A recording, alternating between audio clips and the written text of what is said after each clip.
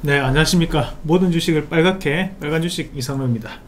자 오늘 코스피 코스닥 시장 특징 그리고 추천주까지 한번 같이 보도록 하겠습니다. 우선 오늘 코스피는 0.42% 상승 마감을 했습니다. 자 그리고 코스닥도 1.45% 상승 마감을 하는 모습을 나타냈습니다 자 환율이 이제 1324원 70전으로 마감을 했고 환율이 최근 들어서 1300원 이상 모습을 좀 보이면서 환율에 대한 변동성이 상당히 커져 있는 그런 부분이 나타나고 있고 자 마찬가지로 음, 오늘 유가는 76달러 39센트로 마감을 했습니다.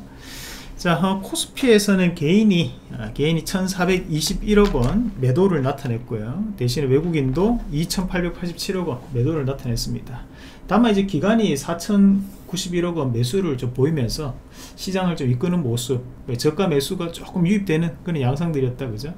자 코스닥에서는 개인이 1248억 원 매도 어, 외국인이 625억 원 매수 기간이 524억 원 어, 매도를 나타내는 그런 하루를 보였습니다.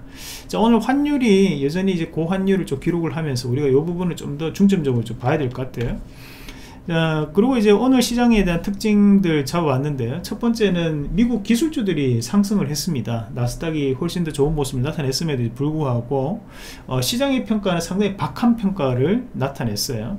어, 우리가 에코버블이다 라는 얘기까지 나올 정도로 상승을 했지만 어, 시장은 못 믿어하는 어, 그런 전문가들에 대한 의견이 많이들 표출이 되었고 왜 그랬을까 를 좀 더 알아보도록 하고요.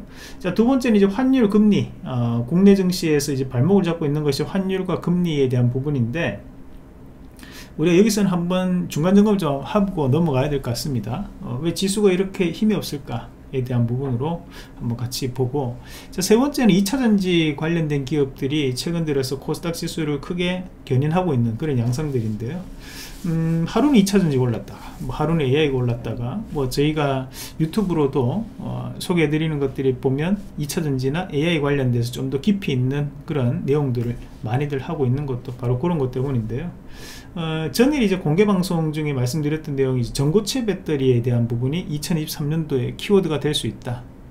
어, 아니나 다를까 고 오늘 시장에서도 상당 이슈가 좀 되면서 전고체 배터리 관련된 기업들이 어, 또 좋은 모습을 보였는데 이 부분을 좀 더 알아보고 내일장 추천주까지 한번 같이 보도록 하겠습니다.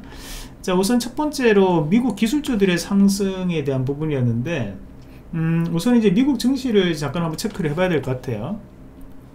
자, 우리가 미국 증시를 한번 체크를 해보도록 할게요. 자, 우선은 어, 자, 우리가 나스닥 증시 한번 같이 보도록 하겠습니다. 자, 나스닥이 지금 보면 여러분들이 화면에 보고 있는 것이 일봉이에요. 일봉상에서 바닥을 12월 달에 찍고 난 다음에 어, 지금 이제 12,200포인트까지 오르고 난 다음 지금 주가가 다시 한 번 더 좀 조정을 보이면서 현재는 240선 밑에 지금 분포를 하고 있는 부분이에요. 그, 러면서 지금 현재 이 과정들이 지금 저항 구간으로 움직임이 좀 나타나고 있고 하단에 우리가 보면 크게 놓고 보시면 다중바닥 형태를 좀 띄었던 것이 어, 그 밑에 이제 1400포인트 1500포인트 부분을 다중바닥 형태를 좀 띄고 있는 상황이었습니다. 우리가 그림을 조금 더 크게 놓고 보면 바닥권력이 형성되고 난 다음에 고점은 꾸준하게 좀 낮아지는 형태를 좀 보였었죠. 어, 그리고 지금 최근 들어서 어, 이렇게 단기적으로 고점 자체 돌파해서 올라가는 부분이었는데 음, 우리가 이 부분 자체를 미국 내에서는 조금 부정적으로 좀 해석을 하고 있습니다. 어, 결국에는 이제 유동성에 대한 부분으로 지금 나스닥에 대한 기술주들이 프리미엄에 대한 부분이 좀 더 가중되는 부분이었다면 지금은 유동성이 줄어 있는 상황이다 보니까 이 정도에 대한 프리미엄 가치를 줄 수 있느냐에 대해서 지금 회의론적 시각이 상당히 강하다고 좀 봐야 되고 어, 지금 현재 이제 미국 증시에서 가장 중요한 것이 이제 4월 달에 아, 3월 달에 추가적인 금리 인상을 할 것이냐에 대한 부분이었는데 거기에 대한 답변을 지금 하고 있다고 봐야 돼요. 나스닥에 대한 부분도 결국에는 우리가 유동성이 풍부했을 때는 큰 폭의 상승세를 기록하면서 좀 더 부가적인 부분의 프리미엄을 줄 수 있는 상황이지만 지금은 돈이 줄어드는 상황에서 과연 그만큼에 대한 프리미엄을 줄 수 있을까에 대해서 계속 미국 증시는 의문부호를 던지고 있다고 봐야 되거든요. 그러면 비록 전일 시장에서 다우 증시에 대한 부분을 한번 겹쳐서 보시면 자 다우 증시 같은 경우에는 또 전일 같은 경우 얼마 오르지 않았어요. 강보합권 0.2% 상승에 그치는 모습이었는데 자 다만 이제 다우 증시 같은 경우에 장기평에서 아직까지는 지지를 형태를 좀 띄고 있는 부분이었고 대신 이제 나스닥 같은 경우에는 어, 그 장기평 자체가 저항 구간으로 현재 작용하고 있다는 차이가 있다는 거죠. 어, 우리가 이제 다우증시를 구성하는 종목군들은 고배당이나 배당 대형주들 에너지 관련된 기업들이 많고 나스닥을 구성하는 기업들은 대부분 다 기술주 위주의 기업들이 많습니다. 미래적인 성장 가치에 대한 부분이 부각되는 기업들이 많은데 음, 그렇다 보니까 지금 미국 증시 내에서도 나스닥에 대한 박한 평가에 대한 이유는 자, 결국에는 이 금리에 대한 부분이라고 봐야 될 것 같습니다.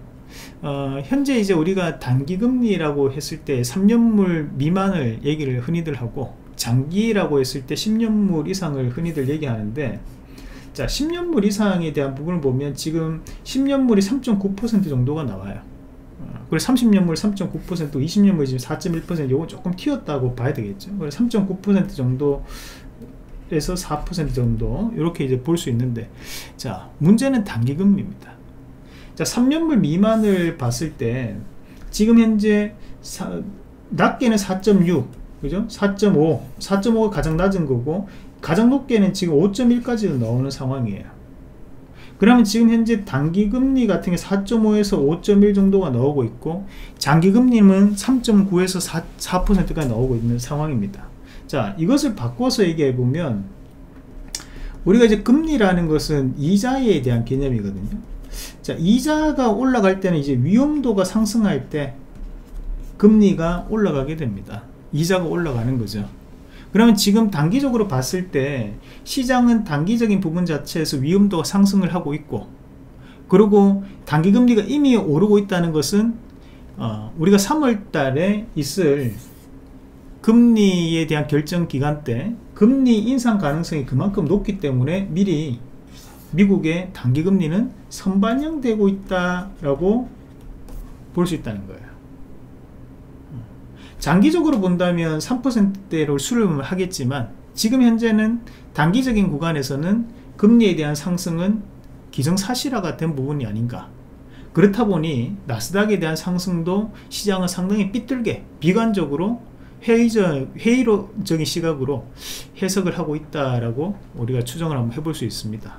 그러니까 결국 이제 3월달 21일, 22일 날 이루어지는 FOMC 회의를 통해 가지고 0.25를 할 것이냐, 아니 0.5%를 할 것이냐, 그리고 점도표 상에 대한 장기로 2023년도 연말까지 얼마 정도를 금리를 가져갈 것이냐는 점도표에서 이제 드러나게 되겠죠. 그래서 그런 경제 전망에 대한 부분 자체에서 포커스를 맞추다 보니까 지금 미국 증시도 상승에는 상당히 제한적인 움직임들 좀 나타나면서 개별적인 양상들을 보인다라고 봐야 될 것 같습니다. 어, 거기 미국 증시가 이렇게 흔들림에 따라서 국내 증시에도 영향을 줄 수밖에 없는데요. 국내 증시에 대한 지수부터 한번 같이 체크를 해 보겠습니다. 자 어, 지금 여러분들이 화면에 보고 있는 화면이 지금 코스닥 지수고요. 자 코스피를 잠깐 같이 볼게요. 자 코스피를 보시면 자 1월 3일날 바닥을 찍고 난 다음에 우리가 2월 옵션 만기까지 어, 순항을 이어왔습니다. 자 하지만 고가 권역에 있던 2470 2480포인트 부근 자체에서 추가적으로 2500포인트까지 올라가지 못한 채 지금 돌파를 시도만 하고 돌파가 되지 않은 상황에서 주가가 이제 빠져버리는 모습이 나타났고 그 밑에 우리가 저항으로 또 볼 수 있는 변곡이 2450이었는데 2450포인트에도 돌파가 또 나오지 않고 오히려 갭하락으로 떨어져 버렸어요. 그러면서 2450포인트가 지금은 또다시 한 번 더 저항 구간에 대한 영향을 좀 주고 있죠. 그럼 오늘에 대한 반등 자체는 결국 이제 기술적 반등에 대한 수준으로 우리가 해석을 좀 해야 될 것 같아요 그냥 지수 자체에 대한 움직임은 조금 제한적일 수밖에 없는 현재 시장의 움직임일 것이다. 어, 그래서 우리가 지금은 그러면 우리가 이렇게 왜 이렇게 시장에 대해서 힘있게 가지 못하고 무기력한 움직임들을 지수는 좀 보이고 있느냐? 종목군들은 그래도 등락을 많이들 보이거든요. 그럼에도 불구하고 최근에 시총 상위 종목군들 안에서도 어, 큰 움직임 자체를 보이지 못하는 부분들이 많이들 나타나고 있는데 결국 그 문제는 우리는 어, 또 글로벌적인 부분에서 찾을 수 있고 국내 경제 지표를 통해서도 그 문제는 나타나고 있다고 봐야 될 것 같습니다. 음, 외국인들 입장에서 가장 투자하기가 껄끄러워지는 시기가 바로 방향성이 부재할 때인데요. 어, 우리가 이제 완만하게 환율이 상승하거나 완만하게 금리에 대한 변화가 나타났을 때는 어, 방향이 어찌됐든 간에 외국인들은 투자를 할 수 있어요. 하지만 급격한 변화가 이루어졌을 때는 그만큼 급격하게 변화가 이루어졌기 때문에 조정도 그만큼 크게 나타날 수 있다라고 생각을 할 수 있고 우리가 외국인들은 또큰 돈을 운용을 하다 보니까 그런 변화에 대해서 상당히 민감하게 반응을 합니다. 어, 우리가 바꿔 생각해봐도 그렇겠죠. 우리가 1억을 운영을 할 때와 100억을 운영할 때는 당연히 포지션이 달라지겠죠. 그만큼 좀 더 신중한 포지션을 잡을 수밖에 없게 되는 부분인데요. 음, 지금 현재 1년물부터 3년물까지 마찬가지 단기금리가 최근에 다시 한 번 더 3.6에서 지금 3.89까지 지금 상승하는 모습을 나타나고 있고 어, 우리가 이제 그 3.5% 밑으로 내려갔을 때가 어, 2월달 초반까지는 계속 빠져서 내려왔어요. 그 옵션 만기 부분까지 내려왔지만 그 이후로 다시 한 번 더 채권 시장이 지금 다시 상승을 하는 그런 양상을 보이고 있고 작년 10월달에 이제 4% 이상을 찍고 난 다음에 꾸준하게 빠져서 내려왔었거든요. 근데 지금 다시 한 번 채권 시장이 불확실함이 커지다 보니까 이런 어, 변동성이 조금 크게 나타난다고 좀 봐야 될 것 같습니다. 어, 채권 시장이 불확실해진다는 이유는 뭘까? 결국에는 무역 수지에 대한 적자 폭이 좀 더 확대가 되고 있고 경상 수지도 아직까지는 흑자지만 지금 흑자에 대한 폭이 상당히 많이 줄어 있는 상황이다 보니까 어, 그만큼 국가에 대한 신용도에도 영향을 줄 수 있다라고 외국인들이 좀 판단을 하는 것 같아요. 어, 그러면서 지금 다시 한 번 더 채권 시장에 대한 불확실성 어, 이런 것들이 미분양이 7만 5천 호가 지금 전국적으로 어, 있다라는 미분양에 대한 공포도 국내 증시에는 악재에 대한 영향으로 미친다고 봐야 될 것 같아요. 어, 사실 이제 미분양이라는 것이 건설주만의 문제로 끝나는 것이 아니라 이것이 건설주부터 시작을 해가지고 어, 돈을 또 빌려주기 시작했던 어, 증권사들 그리고 일부 은행까지도 도미노적인 영향을 미칠 수밖에 없는 상황들이다 보니까 이런 채권 시장에 대한 부분의 움직임은 지금은 예민할 수밖에 없는 상황입니다.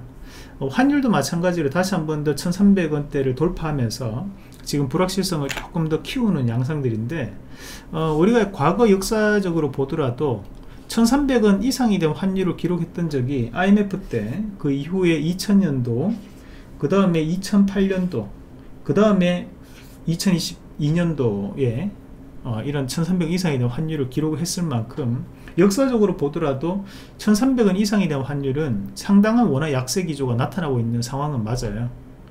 그렇다 보니까 외국인들의 입장에서는 너무 급격한 변화가 또다시 나타난다 라고 생각하다 보니 어, 지금 다시 한번 포지션 자체가 매도로 좀 잡히는 모습들이 아닌가 좀 그렇게 추정을 한번 해볼 수 있을 것 같아요. 그래서 지수에 대한 부분을 집중해서 보기보다는 지금 환율과 금리에 대한 방향이 정해지지 않은 상황 또 급격한 변화 불확실성이 커지고 있는 상황이다 보니까 어, 종목별로 좀 대응을 하는 전략이 좀 필요하다 라는 말씀을 좀 드리고 싶습니다. 어, 그런 의미에서 오늘 또다시 한 번 더 시장에 대한 이슈가 이루어졌던 것이 바로 2차 전지 안에서도 어, 차세대 배터리 바로 전고체 관련된 이슈였는데 저는 이제 공개 방송상에서 우리가 2023년도 키워드를 기억해야 되는 것이 몇 가지가 있다. 첫 번째 양극재 그 다음 음극재 전구체 그리고 전구체 말고 또 전고체 폐배터리 이렇게 다섯 개는 반드시 기억하고 봐야 된다 라고 했는데 어, 우리가 이재용 회장이 어, 이번 달만 다섯 번째 현장 행보를 가셨는데 어, 거기가 바로 어, 수원에 있는 어, 이 전고체 배터리 관련된 연구소였습니다. 어, 전고체 배터리에 대한 개발 점검을 나섰었고 그러면서 지금 현재 대형화에 대한 부분 자체를 처음부터 하기에는 조금 부담스러우니까 소형 전지부터 이런 전고체를 한번 해보자 라고 하면서 지금 어느 정도에 대한 어, 가시화가 조금 되는 양상인 것 같아요. 어, 우리가 2022년도에도 8월 달에 이수화학이 황화불계 배터리에 대한 시생산 얘기가 나왔었고 한번 크게 움직임이 나왔었죠. 그리고 오늘 시장에서도 삼성 SDI에 대한 반등도 나왔고 나머지 전고체 관련된 기업들에 대한 반등이 강하게 형성되면서 오늘 시장을 이끄는 모습이었어요. 결국에는 지금 시장에 대한 먹거리가 2차전지 또는 AI에 대한 부분 자체가 확대가 되면서 그에 따른 관련주들이 계속적인 순환매가 조금 돌아가는 양상들이 나타나고 있거든요. 그런 의미에서 본다면 이런 전고체 관련된 이슈도 단박에 대한 이슈로 끝나지는 않을 거라고 저는 보거든요 그래서 좀 더 추가적인 이슈화가 가능하지 않나 그럼 오늘 관련된 움직임들 한번 체크를 해본다면 우선적으로 가장 많이 움직였던 기업들이 이수화학에서 움직임이 좀 나타났습니다. 오늘 20% 이상에 대한 강한 움직임을 좀 보였고 앞에서 이제 바닥을 다지는 움직임들을 보이면서 불꽃 패턴이 나타나고 난 다음에 오늘 강하게 움직이는 모습들. 자회사 이수건설에 대한 이슈로 인해 가지고 주가는 조금 빠지는 흐름이 나타났었지만 이번에 대한 반등 자체는 조금 쉬어가는 한이 있더라도 추세적인 변화를 좀 더 이어낼 수 있는 어, 움직임이라 보고. 그리고 이제 바닥권에서 움직임이 나왔던 기업이 이제 한농화성 어, 기업이 오늘 또 17% 반등을 또 강하게 붙였는데 마찬가지로 바닥 신호 이후에 요번에도 바닥을 탈출하는 움직임이었죠. 그래서 어, 앞에서에 대한 부분도 우리가 바닥을 찍고 난 다음에 강하게 움직일 때도 전고체 관련된 이슈가 나왔었거든요. 그래서 그 비슷한 시기에 다시 한 번 더 또 전고체 관련된 기업들이 움직임이 나왔는 상황이기 때문에 충분한 변화가 좀 더 나타나지 않을까 봐요. 그래서 이것이 한 하나에 대한 어, 단발적인 이슈로 끝나지는 않을 것이다. 어, 추가적인 부분에 대한 변화가 나타날 수 있다고 보고 삼성 SDI를 보더라도 오늘 모처럼 만에 다시 한번 바닥을 찍고 난 다음에 돌려내는 움직임이었는데 음, 지금 셀 업체들도 계속적인 재평가 좀 나타나고 있는 과정들이거든요. 그래서 우리가 지금 현재는 2차전지 관련해서 산업이 확장되고 있고 마찬가지로 테마가 확장되고 있는 구간이다 보니까 2차전지 관련 그리고 이제 전고체 관련된 기업들도 좀 더 확인해 볼 필요가 있다는 말씀도 함께 드리겠습니다. 어, 관련된 사항 자체를 조금 길어질 것 같아서 저희가 따로 유튜브 영상을 올려놨는데요. 그 영상을 반드시 확인하셔 가지고 관련주들도 한번 체크를 해 보시면 좋을 것 같습니다 자 이렇게 오늘 내용을 한번 정리를 해 봤습니다. 시장이 이슈를 알아야지만 수익을 낼 수 있는 시장인 것 같아요. 그래서 항상 이런 트렌드를 미리 선점을 조금 하는 그런 습관을 좀 가져보시길 바라고요. 어, 이 삼성 SDI 같은 경우에 지금 전고체 배터리 관련해서 2027년도 상용화를 얘기를 하고 있는 상황이에요. 그래서 이정 회장 여기를 이제 방문했다는 얘기인데 음, 뭐 조만간 또 발표가 나오지 않겠습니까? 그때까지는 이런 전고체 배터리 관련된 이슈도 어, 좀더 확장시켜서 살펴보자. 어, 그렇게 말씀을 드리겠습니다. 자 어, 저희가 한국경제TV에서 활동을 하고 있습니다. 어, 여러분들이 어, 또 많이 봐주시고 많이 응원해 주시는 덕분에 어, 저희도 열심히 그리고 재밌게 일하고 있습니다. 자, 앞으로도 많은 성원 그리고 많은 구독하기 말씀을 드리도록 하겠습니다. 자 내일장 추천주는 3월 어, 2일입니다. 3월 1일은 휴무고요. 거래일이 없고 상신 EDP인데요. 상신 EDP 같은 경우에는 삼성 SDI와 직접적인 거래 관계를 가지고 있는 기업이고 2차전지에 대한 부품을 납품하는 기업이다 보니까 저는 이제 전고체 배터리 관련해 숨은 아, 또 수혜주가 될 수 있는 기업이라 고 봅니다. 그래서 상신 EDP 어, 좀더 눈여겨보면 좋겠다는 말씀 드리도록 하겠습니다. 자 오늘 내용은 여기까지 정리를 하고요. 따로 유튜브 영상에서 또 전고체 배터리 관련해서 자세하게 또 풀어놨으니까 그 영상도 참고하셔서 공부 한번 해보시면 되겠습니다. 자 오늘 여기까지 하고 다음에 또 더 좋은 내용으로 다시 또 뵙도록 하겠습니다. 이상입니다